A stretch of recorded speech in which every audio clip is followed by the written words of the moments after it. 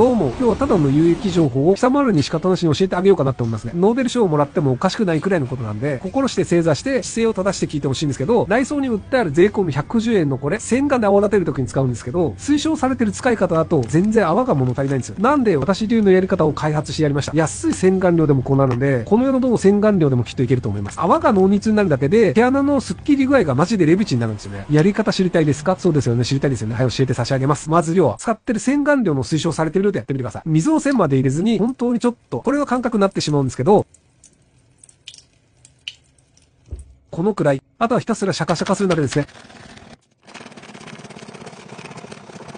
泡立ってきても諦めずにひたすらシャカシャカです。そしたらシャカシャカできないくらい硬くなってくるんですよね。シャカシャカ言い過ぎですよね、アイシャカです。隙間から泡が溢れるくらいもこもこになったら完成です。安い洗顔料でもここまでの大密になります。